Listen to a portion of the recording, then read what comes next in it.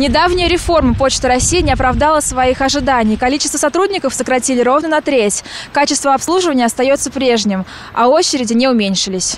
Почта России решила всерьез улучшить работу ведомства и начать нравиться россиянам. Сократили ненужных, по мнению чиновников, сотрудников, начав с менеджеров, а сэкономленные на бывших работниках средства обещали индексировать зарплату рядовых сотрудников, чей доход намного ниже рыночного уровня, взяв за пример зарплаты иностранных почтовых служб. Обещали, что ситуация будет кардинально меняться в ближайшие полтора-два года, что появятся обновленные форматы операционных помещений, квалифицированные консультанты и операторы. Скажите, пожалуйста, на Почту России ходите?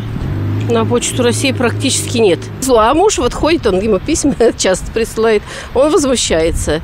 И дети также. А чем возмущается?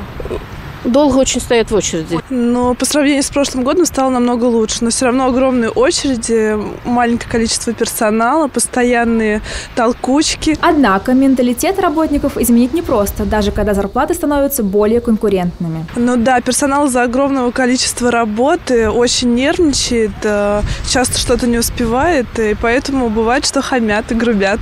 Идеалом для подражания Почта России считает Почту Германии, до уровня которой отечественное ведомство намерено улучшить качество сервиса. Помогут ли радикальные реформы и удастся ли сократить количество раздраженных граждан и увеличить довольных работой Почты России с нынешних 15% до 60%, как всегда узнаем не сразу, лет через пять. На данный же момент почта остается нашей самой упорной госмонополией, лучше всего передающей атмосферу советской эпохи. При этом о современных сервисах в духе выяснения местонахождения посылок по интернету зачастую не знают и сами почтовые работники.